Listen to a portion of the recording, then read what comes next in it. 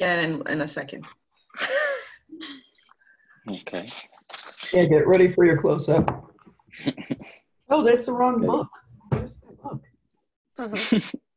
We are on Sutra 23. All right. So that's book 223. All right. we are on book two, 23. I'm going to start with the um, Sanskrit. Seva Swami Saktoya S- Svarupapao Bihi Hetu Samyoga. Seva, being own Prakriti, one's Swami, the owner Purusha, Saktoya, of powers, Sva, one's Rupa nature, Savrupa, one's true nature, essence. U Parabidi, recognition, apprehension. Hitu, uh, cause, and Samyoga is union. The union of the owner, Purusha, and the own, Prakriti, causes recognition of the nature and the powers of them both. Samyoga union is necessary for the Purusha to realize itself with the help of nature.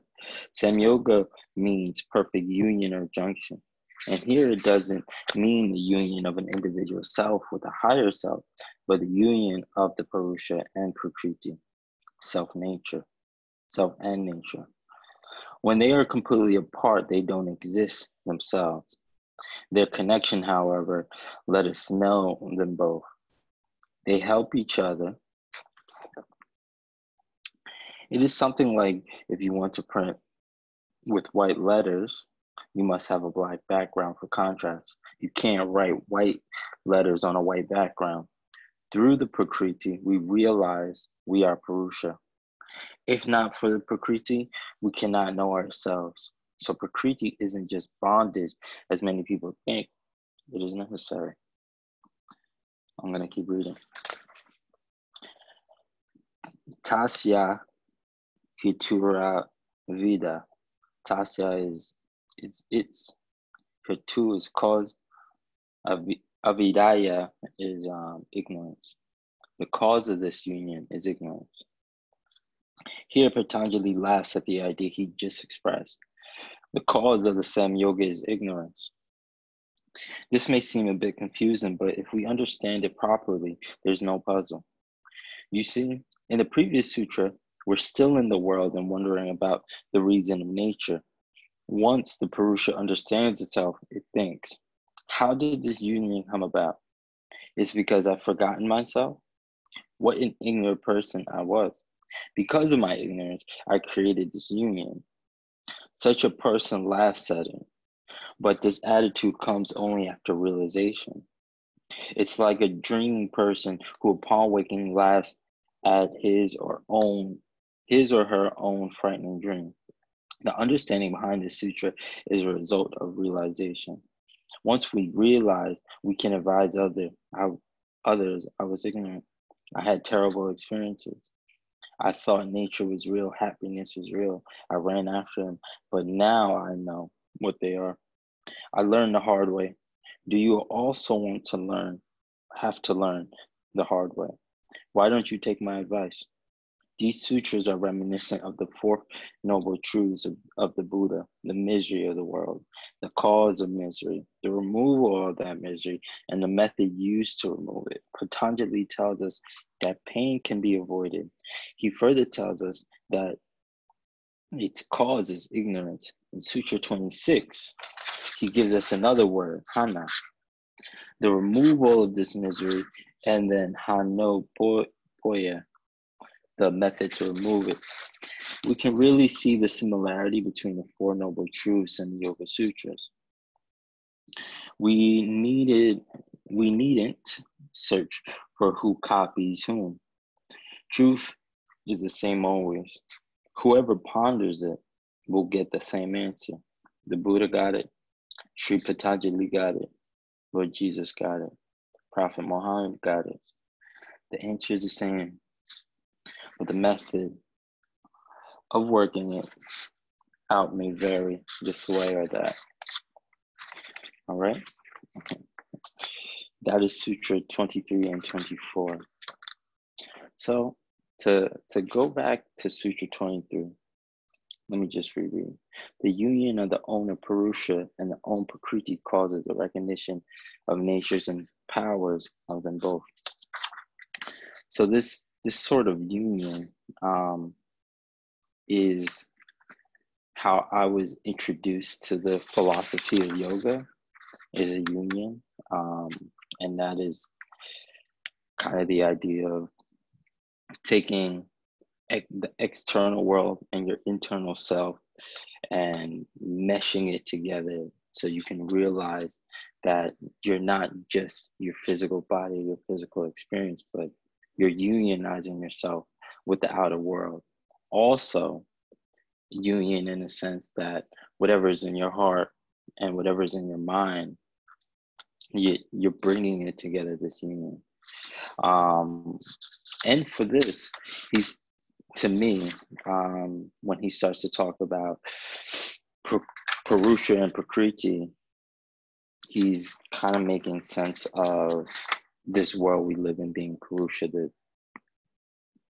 the um the, let's say like a bigger machine and uh, Prakriti being the indi- individual parts always in friction, always moving uh, as gears to to kind of operate this world. So he's talking about the union, right? And they kind of they need to be uh, in concert for it to even be a union. Like there has to be material, like raw matter, um, for there to even be a world. So in the next part, which is which I'm happy I kept reading last night. I'm happy I just didn't stop. Um, he he kind of um, looks at that notion like uh, I, they said Patanjali laughs at the idea he just expressed, saying, "Okay, once you um, realize that they need each other, that the material world, things are always happening, things are always um, going to be imperfect or unstable um, to have this bigger world or this bigger nature in it. Um, that is kind of the realization you have to to i don't want to say and this is my i want to say a little bit of an issue it sounds like disassociation when anything that is trans- transcendental uh, when you're transcending an experience.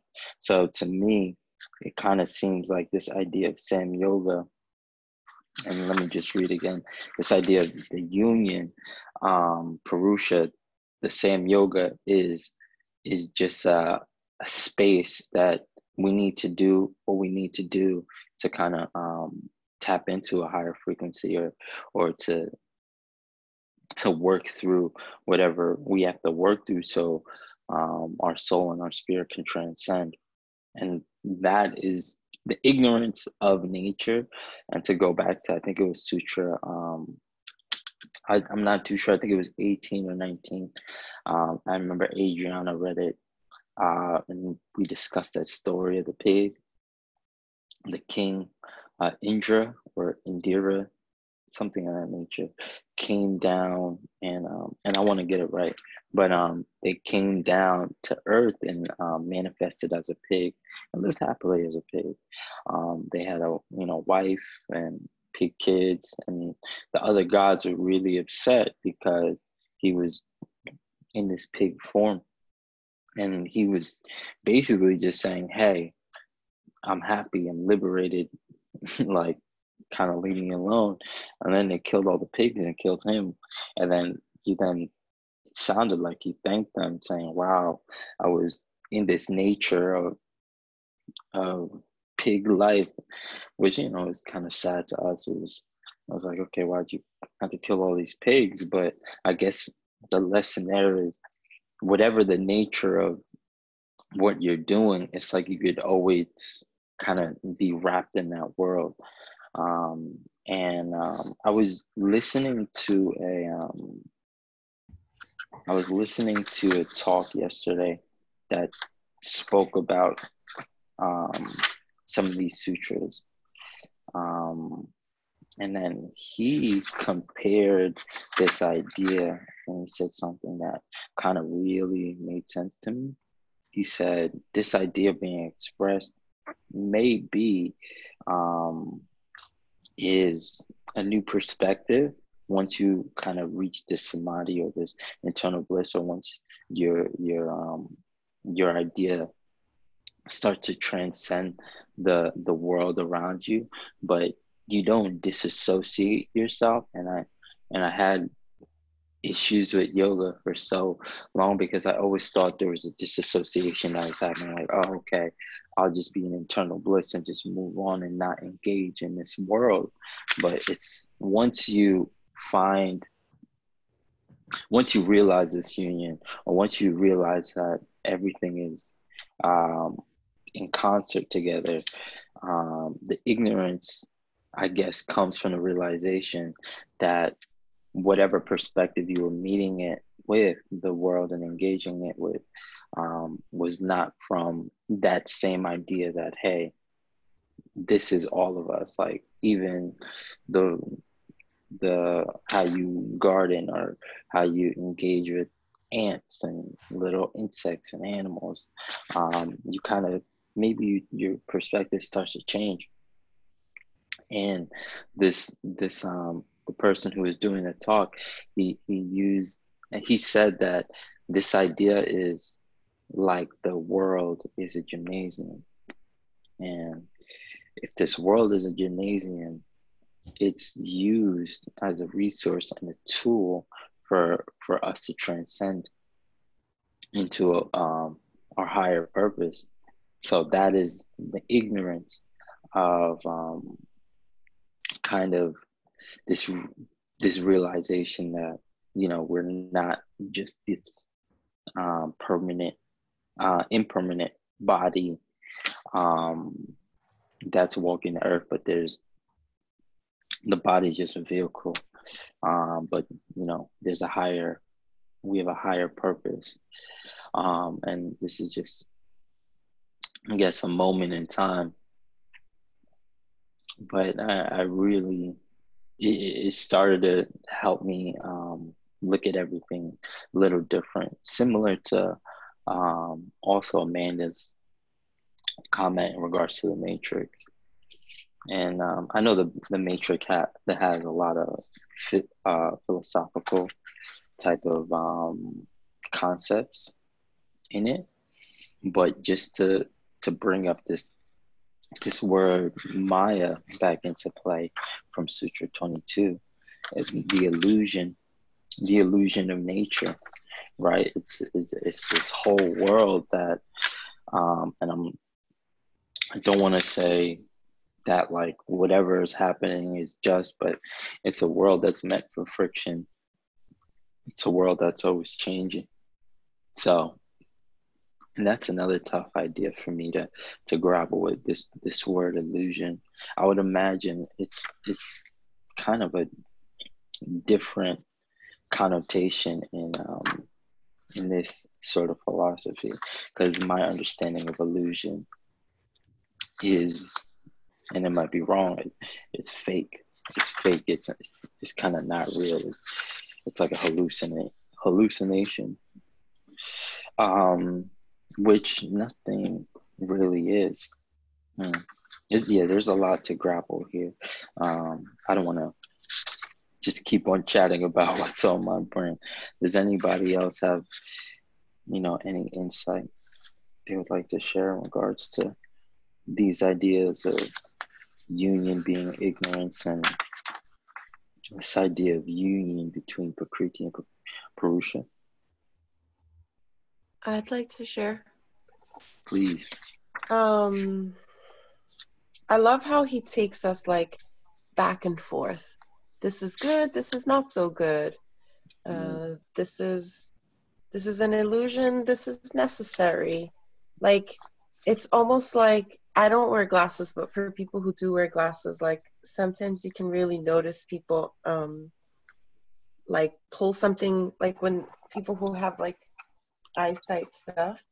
They go they go like this to try to see, Mhm. but then but then really for them to see clearly they have to like push it away yeah, and- yeah. i'm i'm thinking while you were talking i was thinking like this is exactly what patanjali does with the sutras he like pulls them close to us and then we start believing one thing and we're like oh wow yeah and then he pulls it away and suddenly you can see clearer and it was Mhm. almost like it's like yesterday when i was saying how um you know before i chose this body this incarnation i had a bird's eye view of what my life would be and i chose it on purpose Mm. but now that i'm in it i'm so close to it that it's that it's hard to see it and like i think here he's convincing us once again or trying to or clarifying for us once again um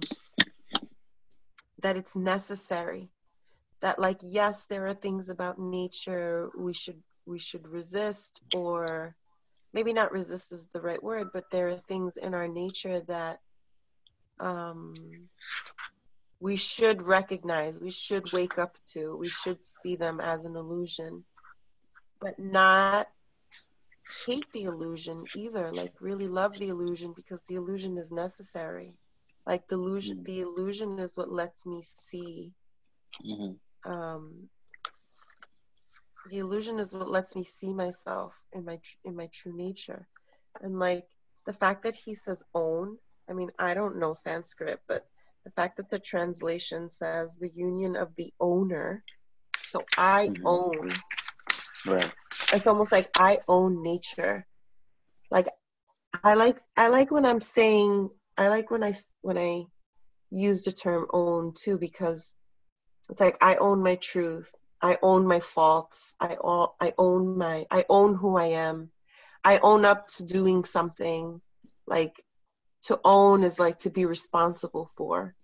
But also this sort of like there's a little up for me there's this connotation of like to own i think of like a slave and Mm. that nature can be a slave to me and i think he says it i think he Yeah, says it- it yesterday The last sentence. it becomes our slave yeah. yeah, the last sentence. once we are masters we are no longer bound by nature it becomes our slave and then of course the next sutra he's Right. like you own you own nature nature is your slave Mhm. and you Right. like union of these two lets you recognize the power there is in both of them the power in the illusion and then the power in um the power in the illusion but then the power of the true self like i i can use these two and play with them without really um attaching to them without clinging hardcore like ah you know when i'm deep in my pain i'm deep in my heartbreak i'm identifying with this pain. I'm thinking the pain is me or that i am affected by the pain. And that's the illusion because who i am on the inside the true me is untainted untouched. I'm i'm always whole and complete. Mhm. um and then the cause of this union is ignorance. Is that the one you read? 24? Yeah. Yeah. Um, there was something I wanted to say about this one too, which is um, the method of working out. Maybe, okay, maybe I don't have anything to say right now about that one. I um, I wonder if the Four Noble Truths, like, where did that come from? The Four Noble Truths. Did he just bring that up, or does he talk Yeah. somewhere else? I think Um. Yeah. You think what? I think That's it's from Buddhist. phil- Yeah. From Buddhist I can hear that it sounds broken up. Yeah, we didn't hear you, Jackie. So the Four Noble Truths is from, he's just referring to Buddhist philosophy. It's not part of the sutras, it's part of Buddhist philosophy. Okay, because I'm thinking of um I'm thinking of um oh my gosh, what's the writer? Don Miguel Ruiz. Is that him? He writes he writes um The four agreements. He writes the four agreements. Okay, I think never he's mind. just introducing it here because then he says in Sutra 26, he gives us like, I think he's going to continue on the next few sutras in his version of the four. truths. And the method to remove it. Right. Okay, yeah. Okay. The four the four truths in shorts short are um hold on, I had it here. Uh the truth of suffering, the truth of the cause of suffering, the truth of the end of suffering, and the truth of the path that leads to the end of suffering. And that's that's Buddha's teachings. Mm. So I guess it's kind of like the eight limbs for us, but in I I don't know much about it, but Yeah. It sounds Well, like I have something that's- heard. Go ahead. I'm sorry. no, I said it sounds something like how we use we look at the eight limbs as our pillar, something similar to um, Mhm. Buddhism teachings. What I love about this is his last sentence. The answer is the same, but the method of working out may vary this way or that. I I love math. I love algebra. And hmm. I loved it so much in high school because you would get a textbook and the answers would be in the back. So like all the kids would be like, "Oh, I don't have to do my homework. I'll just scribble in the answer." Like, "Oh, one plus one is two. But in algebra, you have to show your work. Like your homework sheets weren't just like one plus one equal two. Like there'd be like a, a space like this for you to like work out the problem. And so I loved I loved that because I love knowing the answer. Like I'm the type of reader. I'm not, I'm not like this anymore. Well, I'll read the last chapter just to know what happened before I even start the book. Oh I'll- no. I Google Yeah, the no, ending don't of do- every movie. Can't sit through a did- I- movie without knowing the ending. Eric hates that I do this. Yeah. I do that too actually. For movies I do that too. I've done Not that the with books. but I like I research the whole movie just to get myself into it and think like I'm an expert on it just so I can watch it. Yeah. But no, no, oh finish my one. gosh. I have The to whole watch point is to be travel travel along on the journey. Oh my gosh. no. I can't I need to. s- I head is need. I, out, I need to step ahead. But I I step think in. like with life, like this is our answer book, and like we can all choose different paths. Like Adriana can hmm. take the Four Noble Truths, and this one can take Lord Jesus, and I can take Pantanjali, and maybe there are other ways that aren't even described in here that people are creating for themselves, and we're all gonna get to the end, and the end we know of life is death. And then, if whatever you believe after that, it's like we all know the answer and we're all creating our own paths. Like we're all like getting to the answer on our own way. And we're just getting to work it out with these um these different ways. Yeah. I get so excited thinking about like a math problem and trying to figure it out. And like this it's like a puzzle and look at it, Micheline. Well, Maybe I should have you as my tutor. I'm not, but that's the thing. Like, I'm not good at teaching it.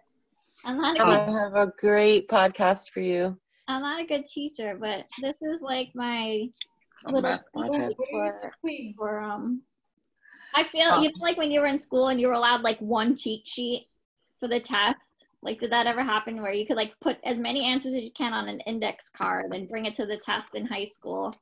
This is like my, my life cheat sheet. hmm Right. well, what I love about that sentence, and it, it goes to like a really personal experience that, like, it still kind of ticks, it, kind of irritates me still. And this was years ago, but I used to belong to this beautiful Christian church that helped me get my act together to get into yoga teacher training. Because, like, some of the people there were amazing, and the pastor is amazing. And um, but I couldn't. It felt so nice to sing, and but in my head, it irritated me that I always sang about one thing and one way to God. So it was like always, there's only one way to God, and it's through Jesus Right. Christ. And it didn't sit oh, like I. I love how these people are where they are and they're able to do what they do, but it didn't sit right here. So I couldn't. I felt like if someone asked me, What are you? Oh, I'm Christian. I'm being a complete coward because it didn't feel right in here. And I, um, as I start like kind of easing off from going to church, one woman asked me, and she was like one of the senior ladies that people look up to. And when I said the answer, she goes, Oh, then you certainly don't belong here because that's our whatever she said, like kind of like our, our main philosophy. And I remember sitting there and I'm like, one, if I hadn't gone through training already and like filtered a lot of stuff, I probably would have yelled at her. But um, I remember sitting there thinking, wow, lady, like in my head, you know, like you have no right to even tell me this. This is not your place. It's everybody's place. And like you have no right to turn anyone away because you're literally just, if I was someone else who was going to say, oh, screw it then, like, I guess there is no God or, or, you know, whatever, or no higher universe or no anything bigger than me, then I'm just going to walk away and go back to whatever it is. So that sentence to me, and that's what I love about yoga, that it brought me so much closer to uh, whatever you want to call it, the uni- universe, higher. Um, I can't come up with the word. The unicorn. the, yes, unicorns and stars, and like that. That's something that you feel in there, and and I feel so much more connected. But I don't have to feel bad or this mm-hmm. guilt that I had to like filter through that. Like, oh, but it's not supposed to be like this, or it's not supposed to feel like this. There's different paths, and Yeah. just because we we were talking like earlier when we were doing book one, we kept talking about the apple. Just because your apple is red doesn't mean that mine have to be red. It could be yellow or green or whatever. And you- we we're all moving through our own path, and it's really the same work. We're all doing trying to do the same work. Mm-hmm. Right. Yeah. And even when you do feel bad, like I like how you say, like, I don't have to feel bad about these things. But even when I do feel bad, I can even use that. Even even the feeling bad is the path. Even the feeling bad is like the gateway to the thing. Right. Yeah. Mm-hmm. I love that Ashley said that we built our own obstacle course for our life and then chose that. And even like just thinking about like the lessons that come to you, like, oh, you know, you're just having one of those days, you know, like that day, and you just wrap yourself in it and you tumble down the hill instead of just stepping back after like the first three lessons of the day and you're like, maybe I should go sit and breathe. Like even just now, I was like not, I could not stop yawning sitting up, and I'm like, why don't I just lay down? I'm so much more comfortable. I haven't yawned once since I've laid down. Like why am I fighting it sitting up, like causing all this misery and suffering for myself? So like we, I think those pause and reflect moments of our obstacles in life like i think that's what nature is like i think we try to put such literal meanings on things like we think of nature of being outside but na- isn't nature just anything of the material world? So like even just mm-hmm. like Even us. laying against the pillow and using a blanket and being cozy. Like i was creating like an illusion for myself that i had to sit up and i'm as i'm more present now because i'm not yawning and my eyes aren't tearing up. I think those op- like I always think about that now, like those obstacles, like instead of cat instead of um getting caught up in it, I can pause and stop that obstacle course, turn and pivot and go down this way instead. And let all the other obstacles for the day just vanish. that what you just said to me in my head rings as compassion like finding compassion towards ourselves Yeah. and it's um it used to be like it used to be impossible for me because that's not how i grew up. Mhm. like even now i'm doing my like my 95 teacher uh, kids teacher training. I'm getting up at 4 a.m and my training is from 4 a.m to 8 a.m by choice because i could do it in the afternoon. But it's easier because it's quiet and no one's bothering me and i can really be there. And then in the afternoon i do 20 minutes where i nap or i sometimes i fall asleep sometimes i don't but it's legs up the wall. And it's been my saving grace because like my whole body just numbs out and I don't know where I go and I float. and and it's like it's okay. Like that's my time. Take 20 minute time out and then i'm able to function until nine o'clock and then peace out. But um i kept going back and forth with it like if i get up early then i'm not going to be able to do stuff with the kid and whatever and it worked like just finding those 20 minutes and getting over all that stuff that was going in my head because this is what i need this month and it makes a it makes a huge difference. Adriana came over once when I was doing my afternoon, and it was like a madhouse. Mm-hmm. I'm trying to like I'm trying to be here, and there's like yelling from here. Then the kids got into a fight, and then they bring it into my training, basically. Even though I'm you know I'm on mute, but that's my training space. yeah. Yeah. So like yeah, like finding that that getting out of the like, but I'm supposed to be doing this and this and that, and just finding compassion and doing what we need. And that changes, like constantly changes. Mm-hmm. I think I agree with that. Um, no, you go, Jay. I was I was just thinking yesterday. I had said, you know, that we need to have we you know everything's part of it all that we need to have the drops of the ocean to have the ocean we need to you know and so i was listening to you read um, 23 and nodding to myself yeah yeah yeah yeah yeah that's what i was thinking yesterday. I was feeling so good that i'm right there i'm getting this that's where i will and then the next one saying well oh that's because of ignorance. So that's where i'm at. I'm at the ignorance part. And then so i was like oh, okay all right all right. So i'm not i'm not really there. But I think that he's saying that there, there is a path that's all about ignorance, but there is a path, and don't you want to kind of avoid that pain?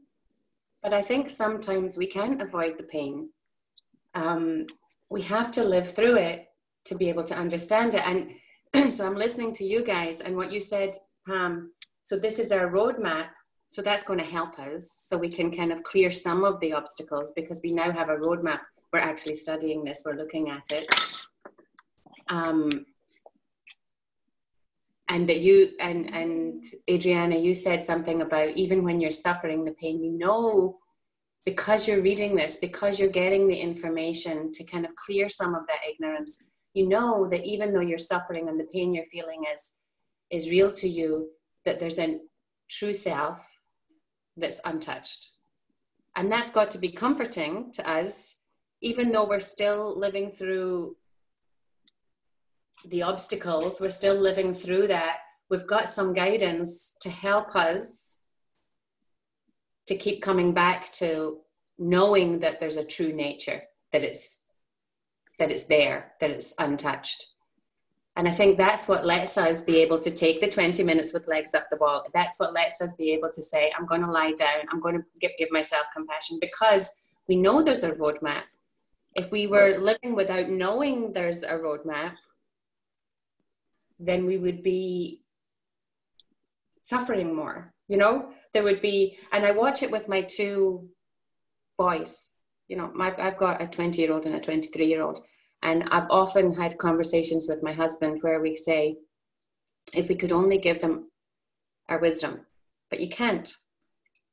The kids have to go through it for themselves. They have to, you have to watch them suffer, which is awful. It's just awful because you know, you watch them go down the path that you know is going to bring them pain and suffering, and you can give them advice, but they don't hear it because they're, you know, teenagers or they're young adults and I so wish that I could give them this book and give them this roadmap, but they're not ready for it. Um, and they're going to have to go through more of that ignorance, more of that mm. of that suffering because they don't have the roadmap, and they can't hear it from me. They have to find it for themselves. And I think all kids do. I know I did. I I was brought up in the church, and it was beautiful and lovely, but um, I don't know. You still had to somehow find your way to whatever your roadmap is, whether it's the sutras or whether it's the Bible, whatever it is, um, you have to find it yourself somehow. Yeah. You know?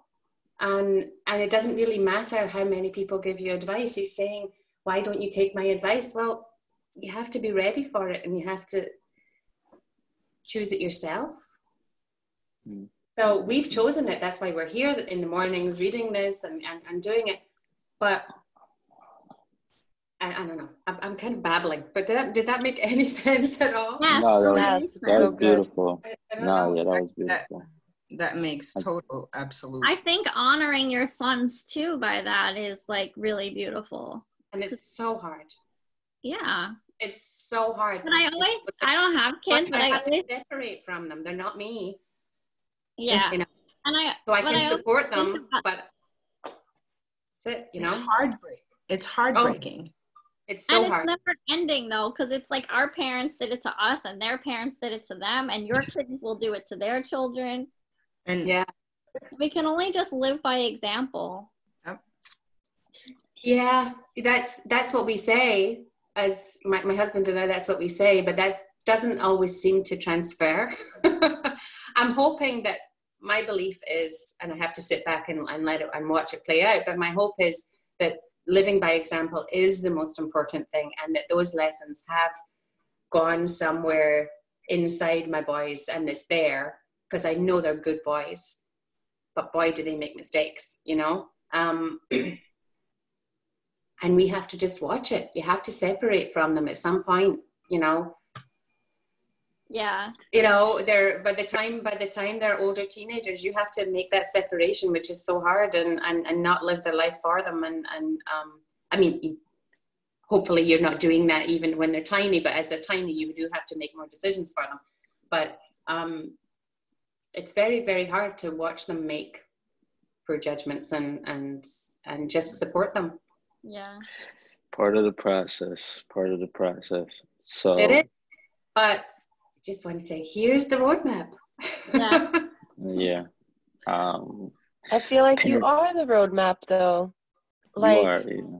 the fact that there is uh, this sense of unconditional love in their life Mhm. allows them to do the things that Yeah. brings Yeah. mistakes. Like yeah. I didn't, yeah, if I didn't have the mom that I have, I maybe wouldn't make some mistakes because I wouldn't, I wouldn't be daring. I wouldn't be like, oh, Right. I'm safe in the world. I can go and conquer.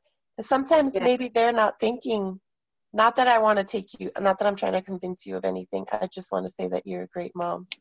That's what I want to say. And that sometimes we think the things we're doing that they're learning, like we, we would hope that they learn the good things from us, but sometimes they learn from the bad things too. Yeah. Yeah.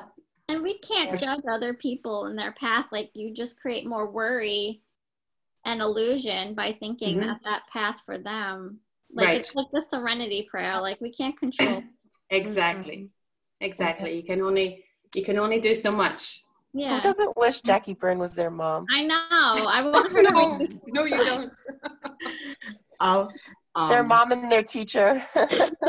Jackie, you have to start reading some sutras. It's so nice to hear your voice. Yeah. Yeah, Mhm. that's that's definitely true. You should start reading. Anyway, I'm and not anyway, but Yeah, no, I know. is- Transition. Is it time? it Yep. yeah, it is a. Uh, any last words from anybody before we get into something and uh, some thoughtful or non-thoughtful meditation? Okay, so we're gonna start by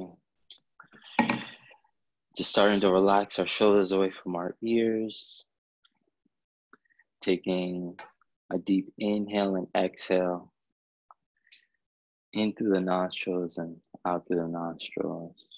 And today we're going to start with a type of breathing called um, bunny's breath. And we're going to just do this for a couple of rounds. So, how bunny breath works is you just take three short inhales through the nostrils. So it's, and then an audible exhale out the mouth. Okay, so if we can do this in concert, three short inhales through the nostrils, and exhale out of the mouth. Three short inhales through the nostrils, and exhale out the mouth. three short inhales through the nostril. And exhale out the mouth. And you're just gonna take this for three more rounds on your own, and you'll be able to drop in.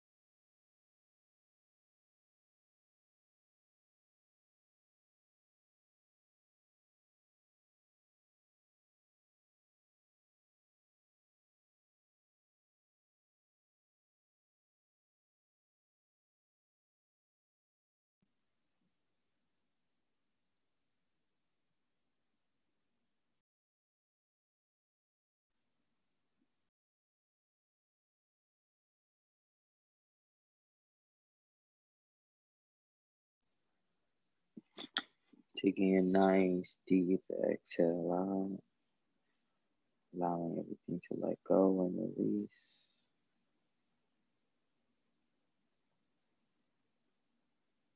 That will be all for today's meditation. Namaste. Thank you. Namaste. Thank you. Namaste. Namaste. Thank All right, you. I'll, see- I'll see you guys. Thank you guys. See you guys tomorrow. Bye, guys. Have a good you. day. Bye, guys. Thank you. Bye.